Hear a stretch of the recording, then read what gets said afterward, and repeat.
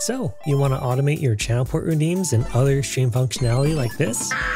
Today, we're talking about setting up SAMMI, a stream automation tool that allows you to build some custom functionality for your streams. There are a lot of programs that do fill in this role like StreamerBot or Mixitup, but SAMMI is just what I personally use. Before we get started, you're going to need to download the zip folder from SAMMI Solutions and be running at least OBS version 28. If you prefer a written guide, there is one that was provided by the devs linked down below. First, you'll want to extract the contents of that zip folder somewhere you'll remember. Ideally, not your OBS folder or any network drives. Next, go ahead and run sammycore.exe, and if you haven't already, have OBS open as well. Welcome to SAMMI Core. We'll set up a deck another time, but today we're trying to make these four red lights turn green. First up, connecting to OBS.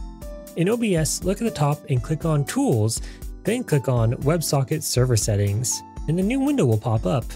Make sure that Enable WebSocket Server is checked on, and we'll leave Enable Authentication turned off, but you can always add a password later. Next, click on Show Connect Info and take a screenshot for later. Back in SAMMI Core, go ahead and click on OBS Connections in the bottom left. On this new window, just make sure that these fields match up with that screenshot we took a little bit ago. Make sure the auto connect is enabled and then click on connect. You should see the first light turn green for main OBS. Now for part 2. Let's get SAMMI connected to your Twitch account. At the bottom of the SAMMI window, click on Twitch Connections and you'll see this window. Click on the plus and then your browser should open. You'll be brought to this Twitch page that will list all the permissions that SAMMI will need to have access to. Click Authorize and you'll be brought to this page saying that it has the token and that you can now close the window. Go back to SAMMI and you'll see that your Twitch profile has now appeared. Make sure that Auto Connect to Twitch is enabled and then click on Connect to Twitch. And with that, the next two lights are now green. Now, we're in the home stretch for part 3, setting up a dock for SAMMI Bridge. In SAMMI on the left side, click on SAMMI Bridge and then click Copy Full Path. Now, in OBS at the top, click on Docks and then Custom Browser Docks. You'll see this window pop up.